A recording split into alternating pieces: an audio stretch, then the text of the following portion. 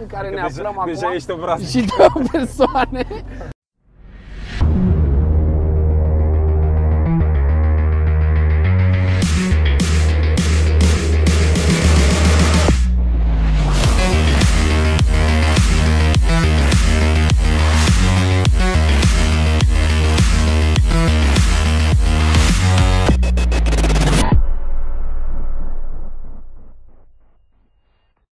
I-am dat drumul la mă, Deci nu luăm prin materiale extra, ia-o pe unde vrei tu, frate. Ești liber să faci ce vrei cu mine în dreapta aici. Uh, Spuneam așa, material Q&A despre Suzuki Samurai pregătit de off-road, alături de Vipu sau Cristian Bătănoiu, cum îl știu băieții în oraș.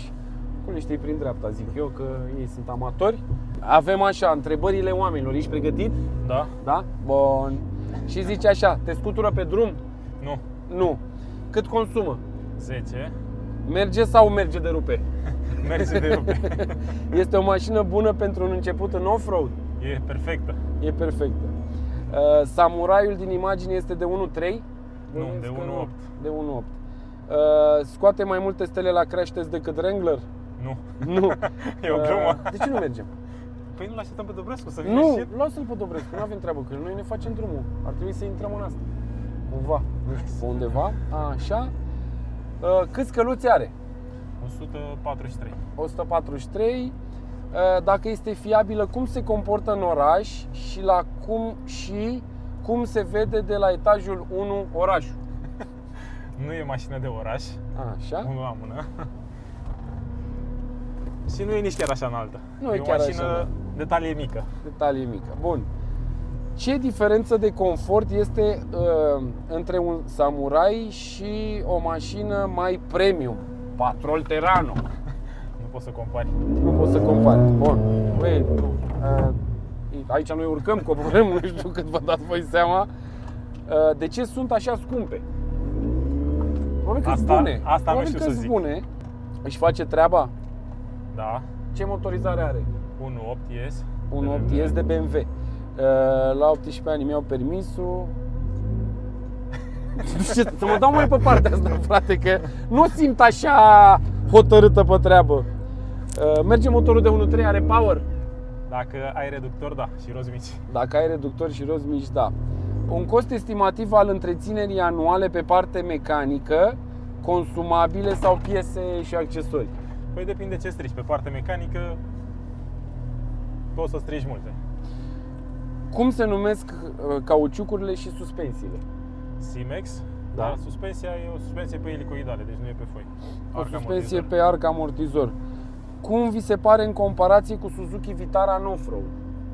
Mai slabă Vitara. Mai slabă este Vitara. mai grea și nu are punte față, punte rigidă. Se rup planetarele mai ușor. Dacă te simți în el ca tractoristul la Arat. Da, de drumul, tu nu sta după, tu nu sta după el. Gamie. Câți cai ai și de ce nu schimbi motorul? Asta am uh, discutat. Este bun pentru un începător în off-road, asta am discutat. Ne-au întrebat oamenii. Cam astea au fost întrebările pentru Suzuki Samurai. Dar uh, ce să zic, uite acum că merg cu mașina și că oamenii n-au pus atât de multe întrebări, văd că bagă cald, frate. bagă cald iarna? Da, bagă, cald. bagă, și bagă. stația e mică la ea. Totul e mic, ești nebun?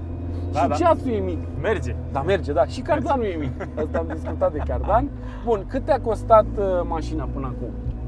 Mașina 3000 și modificările nu le-am... uh, Nu le-ai calculat. Nu, Da, așa nu. după tine Se cam... mai uită și Irina, deci nu, nu contează.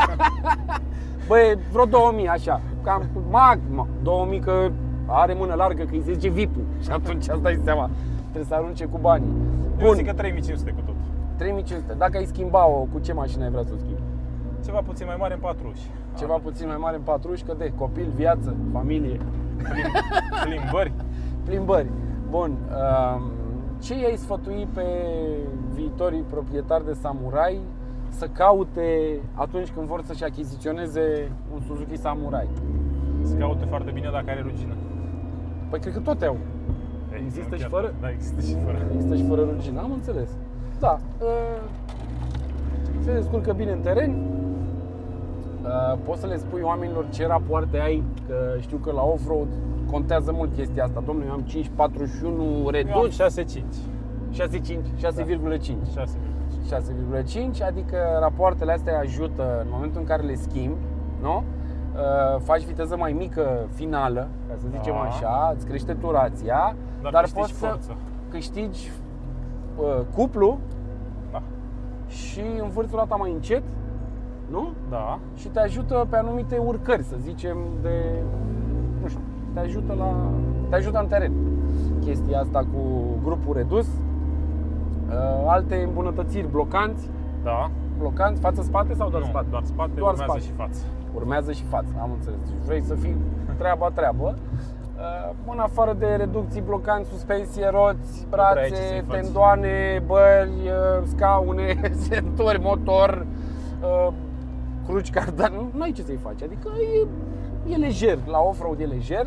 Marele avantaj este că, uite, cu o mașină de genul ăsta poți să participi și la o competiție uh, de amatori, să zicem, sau chiar și la una profi și poți să mergi și la plimbare cu prietenii la grătar uh, în weekend pe un drum forestier, ceva mai lejer. Deci uh, mașina poate fi utilizată și de zi de zi, iarna, te duci cu ea în oraș, Corect. mergi, adică nu e ceva o problemă să o utilizezi uh, pe timp de iarnă, ca, ma- ca mașină de mers pe zăpadă sau mers în oraș și parcat oriunde vrei tu. Dacă aveți întrebări pentru el, v-am spus să-l găsiți pe Instagram sau Facebook. E greu, dar el are maduri în picioare oricum. Adică, băi, eu Salomon Mad, ai venit Quechua, că ai venit cu coeci aici. Salut, salut! Nu a vrut să ne filmeze, că suntem urâți.